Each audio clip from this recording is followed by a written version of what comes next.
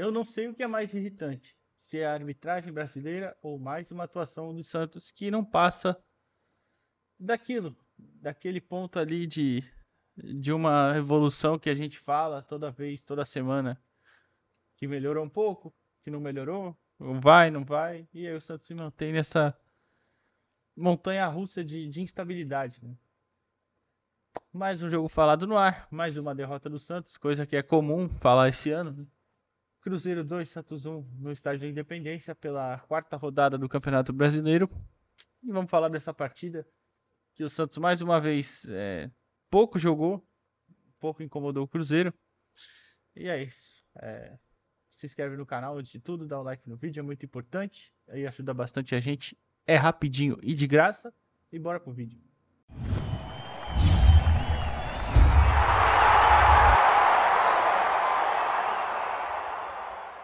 Primeiro tempo, o Santos já começou igual sempre, né? Sem, sem incomodar muito o Cruzeiro, sem chegar lá na frente. Deu uma finalização ali no, nos primeiros 30 minutos, né? até com, com o Marcos Leonardo de longe. O Cruzeiro, com o trabalho do, do Pepa, né? o treinador português, que, que chegou há pouco tempo, já tem um, um estilo muito mais agressivo, né? De, de pressionar mais quem está com a bola, de pressionar mais na frente de uma movimentação que se ainda não é tão intensa, e eu acredito que não seja porque isso sim, porque está no começo do trabalho, mas é já é um time que se se movimenta para dar opção para o jogador que está com a bola. Se não é um time muito qualificado tecnicamente, individualmente falando também, e não é, você compara nome por nome com o Santos, é igual. Parecido se o Santos não for melhor ainda. E, e você você vê isso, você vê a diferença que aí para mim é o trabalho aparecendo, né? E o Cruzeiro já conseguiu, também não tinha criado muito, mas já conseguiu chegar mais vezes na frente, até fazer o gol com o Wesley, né? O Wesley, depois de um cruzamento do Ramiro, é... não sei onde é que estava o, o, o, jogador que teria que estar marcando por aquele lado, foi uma bola parada, né? Depois de uma, uma, uma bola parada, a continuação da jogada por exemplo, o Natan chegou para encostar na marcação, mas o Natan, o lateral direito, né, caindo pelo lado esquerdo, o Lucas Pires estava lá do outro lado, na segunda trave, tanto que ele tenta tirar a bola do Wesley, né, o Wesley completa para o gol. É, e para mim faltou ali a cobertura, faltou a, além da marcação, claro, principal, faltou a cobertura. E a bola também passa pelo João Paulo, o João Paulo sai do gol é, caindo de uma forma estranha, mas tudo bem que a bola também foi meio para frente, né, fazendo a curva para frente. E o Wesley completou e fez o gol. Né?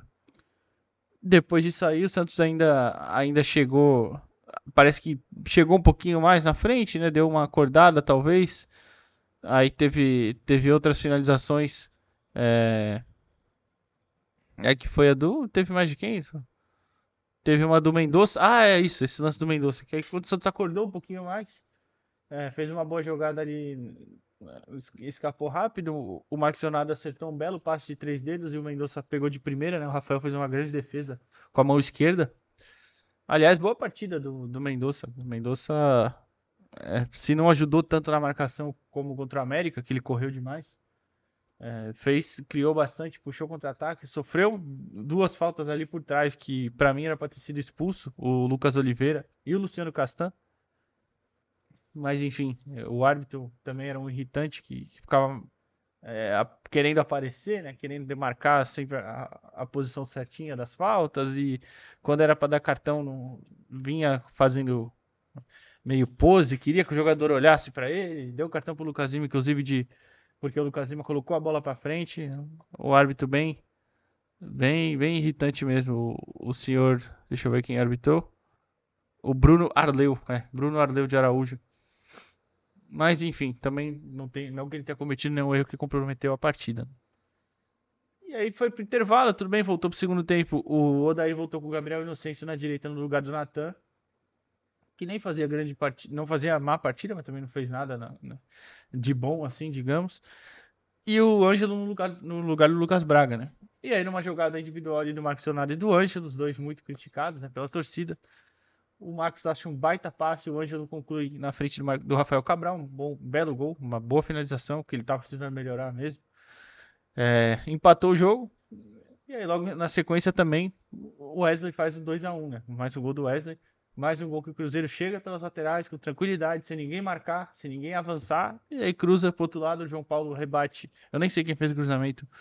É, o João Paulo rebate. E o Wesley completa pro gol, né? Acho que foi o Matheus Vital, né? O João Paulo falhou. Ele não pode rebater aquela bola e muito menos pro meio da área, né? Ele praticamente colocou pro Wesley fazer o gol. E os, como os jogadores do Santos vinham correndo, vinha pela lateral o Matheus Vital, os dois, dois defensores eram Messias e Lucas Pires, vinham assim de frente, quando a bola volta para trás, eles não tiveram tempo de tiveram tempo de virar e tirar, né? E aí o Cruzeiro passa à frente. E aí, enfim, foi a tônica do jogo. O Daí fez algumas mudanças depois, colocou o Ed Carlos, o Daniel Ruiz e o David já no fim. Teve uma boa chance de cabeça com o Marcos Leonardo. Teve uma falta que ele cobrou para fora que, que deveria ser do Ruiz, né? Era mais para um canhoto ali. É, o Ed Carlos, ele colocou o Ed Carlos depois, primeiro para ajudar na saída de bola, depois ele colocou como primeiro volante, mas já no fim da partida, né? Que ele tirou o Camacho para colocar o David. E o Daniel Ruiz entrou no lugar do Lucas Lima, inclusive. E o Ed Carlos no do Fernandes, que tava com cartão amarelo. E tava a cara de que ia ser expulso mesmo. Porque ele tomou o cartão, já fez outra falta, já tinha reclamado. Ele tomou cartão por reclamação, acho que foi até, né? Arrumou briga ali, já tava fazendo umas faltas, enfim. O Ed, o Ed Carlos até acertou bom passe, acertou um bom passe longo pro Mendonça uma hora, outra hora pro, pro Marcos. Mas também acabou vacilando uma saída de bola que, que o Cruzeiro finaliza. Acho que foi o Felipe Machado, finalizou mal. É, e o João Paulo fez a defesa, enfim. Mas aí, aí o que a gente vê de, de falar da falta de trabalho, eu já falei aqui várias vezes que para mim a organização ofensiva do Santos é muito fraca, é muito pobre de ideias até o Alexandre Losetti, que é um baita comentarista, na, na, na transmissão ele fala: ah, os zagueiros do Santos não, não, não saem pelo chão, só dão um lançamento. Mas eles não saem pelo chão pelo quê? Por quê? Porque não tem capacidade para isso? O Messias pode até não ter, mas o Joaquim tem. Ou eles não são instruídos a isso. Ou eles não têm alternativas para isso. Cadê o Camacho na saída de bola? Aliás, cadê o Camacho no jogo? O Camacho vive perdido. O Rodrigo Fernandes também não dá uma opção, mas aí não é nem só eles, mas é o time que não se organiza para a bola sair pelo chão. Não tem alternativa de passe, não tem jogador aparecendo. E aí os zagueiros ficam reféns de, de mandar a bola para frente. Mandar para uma correria do Mendonça, do Ângelo, do Lucas Braga, que também fez um primeiro tempo horroroso, foi substituído no intervalo, né? Que eu já falei. Então, enfim, é, não é só também o elenco que tem atuações tenebrosas, é verdade. Tem jogadores aí que não tem condição de estar tá com a camisa do Santos, não tem. Mas é trabalho também, é falta de trabalho. Tem, tem jogador de qualidade ali. Olha os dois ataques de hoje. Rafael Bilu, a linha de frente do Cruzeiro. Rafael Bilu, Matheus Vital, Bruno Rodrigues e Gilberto. Saiu o Bilu machucado entrou o Wesley. Lucas Braga, Lucas Lima, Mendonça e Marcos Leonardo. E entrou o Ângelo que fez o gol. Pô, cara, tem, tem diferença aí. No Cruzeiro também entrou o Henrique Dourado no lugar do Gilberto. E aí no Santos o Daniel Ruiz e o Lucas Lima. Tem tanta diferença técnica ali? Se tiver, acho que é pro Santos, inclusive.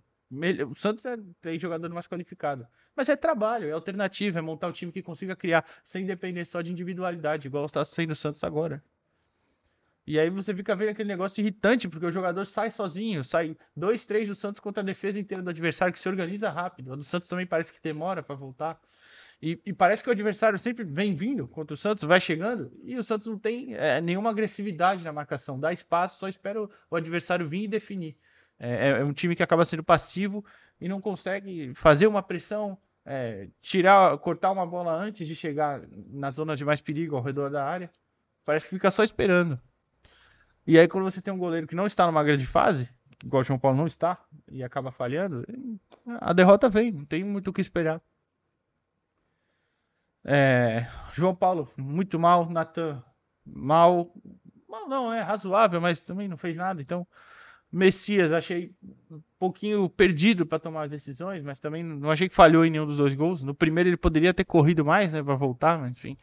Joaquim, achei que fez uma boa partida. Lucas Pires, Lucas Pires, você vê, ele aparece na frente, ele tem qualidade, mas também às vezes ele inventa. Ele, tá, ele tava numa bola de fundo do segundo tempo, que ele driblou, fez dois bons dribles, aí ele leva para direita, leva para esquerda de novo, tem a chance de finalizar, não finaliza, tem a chance de rolar para entrar na área, que tinha dois jogadores ali, não rola. E tenta chutar de forma bizonha depois de, de já ter perdido o timing.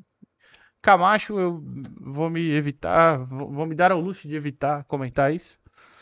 Rodrigo Fernandes também, uma, uma, mais uma, uma partida para mim, não tá jogando nada esse ano. É, tudo bem, às vezes ele tá sempre correndo atrás do, do, do, do adversário sem nenhuma ajuda.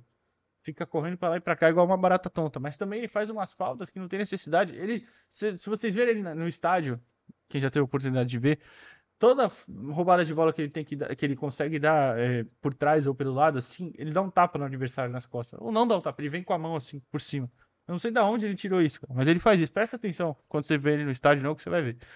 Lucas Braga, uma partida horrorosa, não acertou nada também. Não teve campo para correr, que é a melhor qualidade dele, mas não fez nada. Lucas Lima também muito mal, pouco apareceu hoje. Já tá devendo, já faz uns jogos, né? Não acho ainda que seja. Vou dar esse voto de confiança, né? Apesar de ele não merecer e nem precisar do meu voto de confiança, mas enfim. Não tá jogando nada também, tá aparecendo pouco.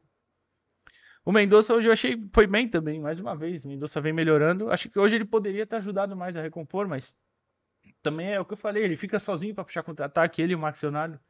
Então o cara cansa bastante lá na frente, mas enfim, acho que nos últimos jogos ele, ele vem melhorando sim, já venho falando isso aqui pelo menos aos três vídeos, né? E o Marcos Leonardo para mim também foi muito bem hoje, foi muito bem, conseguiu criar uma boa oportunidade pro Ângelo, achou uma bola de cabeça que ele quase faz um gol, né? A finalização de longe também que não foi tão perigosa, mas finalização que ele arrumou, né?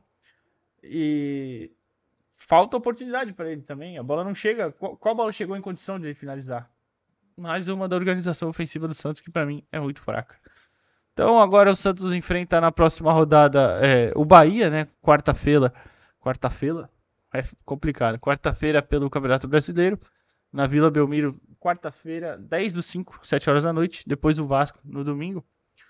É, o Bahia ainda joga hoje, né? O Bahia ainda joga amanhã, aliás, joga nessa rodada. Tem, tá com 4 pontos o Santos, né? O Bahia, se não tem nada também, tá com 4. Deixa eu abrir a tabela aqui rapidinho. É, mas, enfim, é, é, na Vila, tem que ganhar, é claro. O Santos tem 4 pontos, uma vitória, um empate e uma derrota. Né? O Bahia tem 3. Uma vitória e duas derrotas. Joga nessa rodada ainda contra o Coritiba, lá na Arena Fonte. Né? Então é isso. Vai se recuperar na próxima rodada. E, e não tem muito o que fazer, não precisa melhorar. Qual vai ser? Vai ser a evolução que melhora num jogo, piora no outro? Essa montanha russa de atuações que é o Santos? Então, enfim. Já sabe, deixa o like no vídeo, se inscreve no canal que é muito importante. Até a próxima. Valeu!